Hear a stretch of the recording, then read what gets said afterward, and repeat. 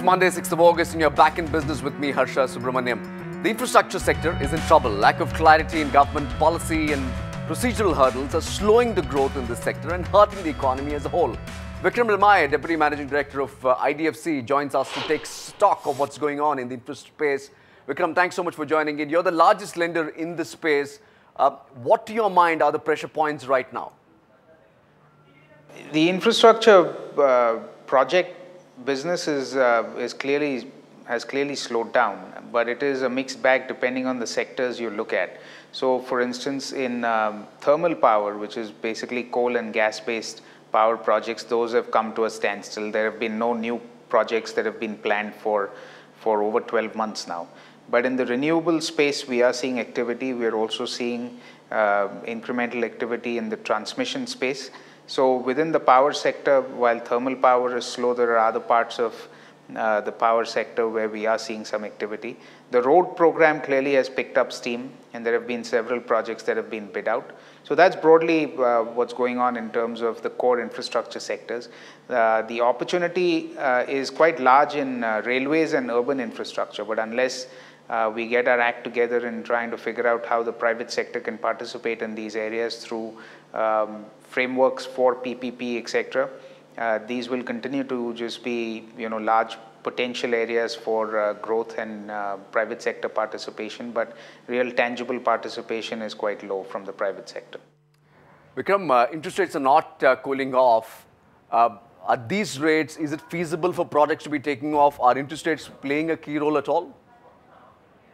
My view is um, what we're seeing in terms of slowdown and um, a reduction in uh, risk appetite and um, you know the sentiment being low, etc., has really nothing to do with interest rates.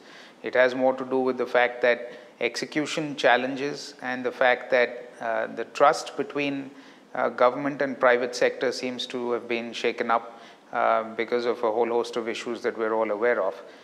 so for that, for sentiment to return, I think uh, the private sector needs to be uh, more convinced that some of the execution challenges will get sorted out. We're not seeing much of uh, private sector investment spending at all, um, Vikram. Are you seeing demand for loans for new projects? Are you open to lending to them in an environment like this?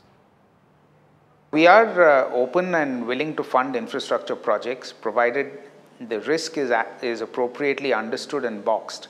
So as I said, uh, there are new projects that are coming up that we are also involved in financing. Uh, but they happen to be in areas that I outlined. So there are there, there, are new projects coming up in roads, there are new projects coming up in transmission, there are new projects coming up in renewables. Um, there could be some additional uh, project activity in ports. So all these areas have new projects coming up as well. In addition to you know, refinancing projects that are now operational and generating enough cash flow with uh, visibility of uh, cash flows going forward, uh, which tend to get uh, financed at, at more attractive rates. So that, that is certainly a part of the activity. Just a word on your bad loans, Vikram. You know, almost all PSU banks have seen a spike in bad loans. How is it that bad loans at IDFC have remained at below half a percent of advances? You know, even as far as the uh, NPAs that have been um, announced by some of the other banks, um, those have more to do with corporate exposures, not really infrastructure related exposures. So I haven't really seen um, announcements of large NPAs in infrastructure per se. I mean, there are some very large projects such as uh, you know, Lavasa or some of these other projects which, uh, which have run into trouble um, because of environmental issues, etc., to which we really have no exposure. Uh, some of the other areas where some of the banks might have exposure that we again have no exposure to is uh, are the um, are the new entrants into telecom whose uh, licenses have been cancelled. So some of these areas that are facing difficulty and challenges from a policy perspective and uh, approval perspective uh, we don't really have any exposures to some of those names or uh, some of those areas. But more generally, as I said, the NPLs that you've seen, whether it's from the public sector banks or others, uh, haven't really been uh, infrastructure related. I haven't really come across large infrastructure NPAs that have been announced by, uh, by any of the banks.